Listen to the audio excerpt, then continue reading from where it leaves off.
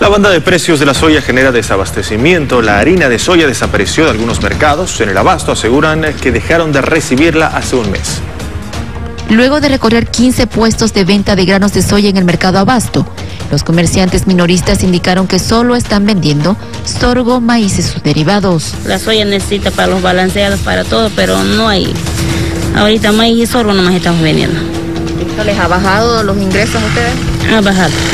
No hay ni harina integral ni harina solvente. No. ¿Cuándo es que no llega este producto acá a los almacenes?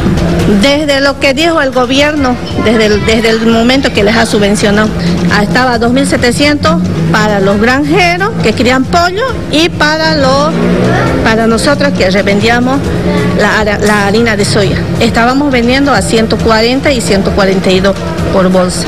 En la empresa estaba a 135. Los comercializadores indican que los productores avícolas buscan la harina de soya para llevar hasta sus granjas para alimentar a las aves.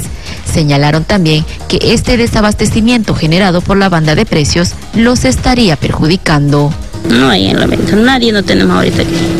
¿Cómo les afecta económicamente a ustedes esta entrada?